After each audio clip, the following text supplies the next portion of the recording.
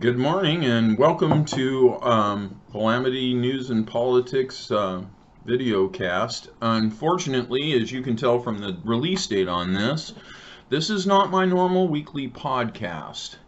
Um, it is, of course, because of what happened yesterday um, when insurrectionists attacked Congress and our democracy. So let's just let's just start out with what the word that pops into my head, which is wow. What the heck just happened? Um so a group of uh, Trump supporters who believe his lies that the election was rigged um, went to a rally. The president came out um, and whipped them into a frenzy and told them to go attack the Capitol building to delay the the election. And they did. They went right down to the Capitol building, marched right in. Um, all of these different um, congresspersons um, on both sides of the aisles were hiding under their desks. They had to be removed to the emergency bunkers because these um, seditionists eventually broke into the into the chambers, into the House and Senate chambers, and we've all seen the pictures. You know, people's feet on the desk, and the election was stolen, despite a complete lack of any evidence whatsoever. That, of course, terrified everybody you know, Democrat or Republican. Do you really think that mob was going to not tear apart Republicans? Let's face it, that's what this is about. It's not even about the Democrats anymore. Trump is attacking his own party now.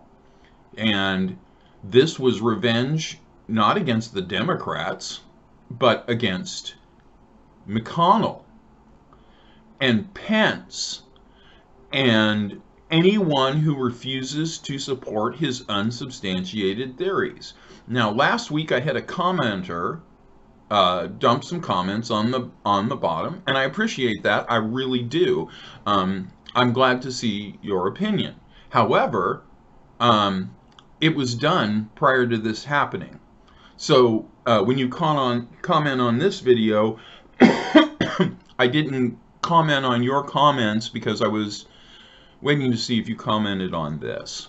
Um, this has nothing to do with what you were talking about. Um, this isn't a legitimate look into the election or the fact that there might be fraud.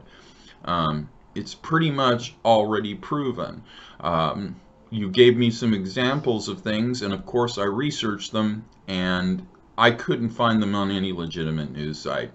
I'm sorry, but you I don't know where you get got your information from or what your source was, but I'm assuming that it was either QAnon or maybe one of the um, conspiracy theory uh, YouTube sites.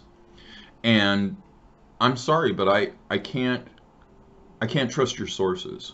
Okay, and and no offense to anybody, and I'm not bragging. Okay, but I am bragging a little bit. I have an IQ of 156. That's not made up. I'm a member of Mensa. Um, I have a nearly eidetic memory and I'm disabled. Um, I can barely walk across the room. So I spend all day on the internet reading the news, but I don't read the news that you read alone.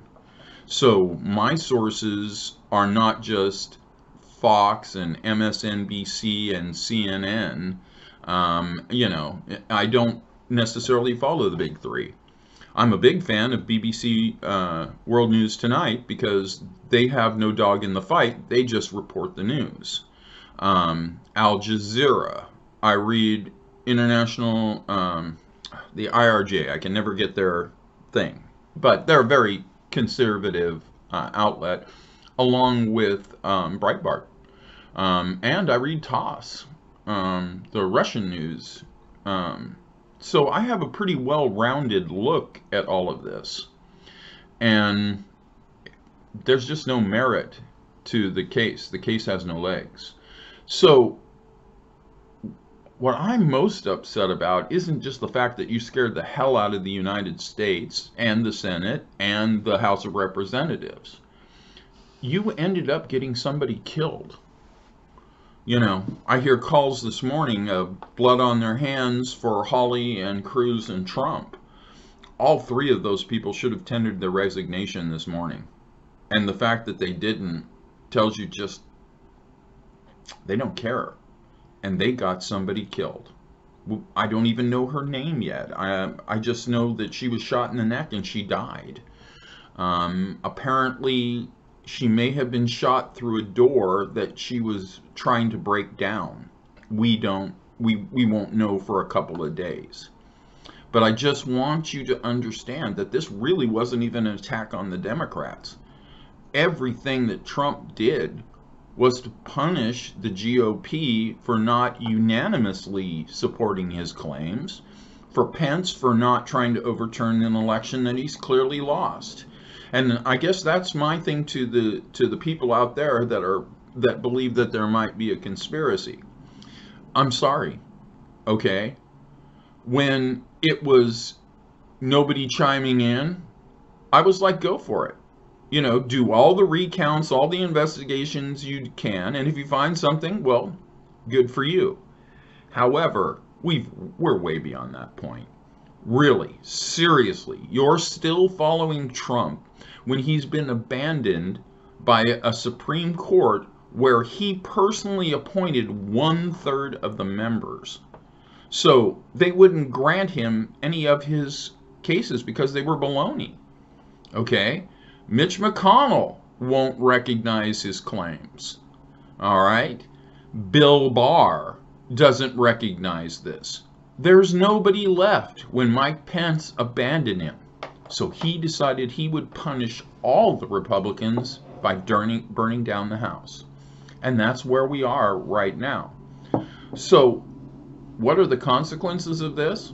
Well, number one, do you think that this issue isn't going to come up in every single election from now on? It's called a precedent. The reason why most uh, presidents did two terms is George Washington set the precedent. He didn't want to run for a third term. He thought that was too king-like. So all of these elections from now on, if you believe what Trump told you, they can't be trusted. And when I say that, that means that nobody should be in office right now. If Trump's assertions are true, Mitch McConnell isn't the leader of the Senate. Donald Trump isn't the president. You know, if it was fraud this time, it was fraud last time. They didn't miraculously change the way they did anything from four years ago. So now we've lost all trust in the government. And if you don't think that's a blow to democracy, I don't know what is. Um, it's the most horrible thing that could have possibly happened to us. The fact that there are still senators out there leading this idea that there was some sort of election fraud, um, I think it's backfired. I honestly believe there was no reason for them to challenge these people except for Trump's base. Okay, Ted Cruz and Hawley, with the blood dripping from their hands from that woman's death, okay, don't vote for them. Okay, they are undermining our democracy. They're guilty of sedition. And afterwards, consequences if Trump is in charge with reckless endangerment, inciting a riot, and negligent homicide, then that shows you that the rich don't face the same consequences that the rest of us do. Because that's exactly what he did, and in a court of law, he would be convicted. If they impeach him or they use the 25th uh, Amendment to get rid of him, I don't care. Even if I have to wait out the next 13 days, he is a threat to the democracy. Cruz, Hawley, and the rest of those morons are all responsible for this. So you remember their names and you remember that they wanted to start a dictatorship with Donald Trump as the dictator. Well, I'm frightened because I'm a veteran and I don't know what's going on and I'm not going to I'm just going to tell you you're not Americans. Go live in a totalitarian state. If you want Trump to be president for life, then I think we should talk to Kim Il Jong about that, or Kim Jong Un. Uh, I'm old. I remember. I remember his grandfather. That's how old I am. I was stationed in Korea, uh, like a couple of years after after the Kim Il Sung died. So things are not good there, and we don't want that to happen here. Well, I'll see you again a little bit later, um, hopefully with some better news and a better America to come. I think we need to take this as a lesson and make sure that our democracy stands. This is a test. Stand up and pass this test, America. Thank you very much.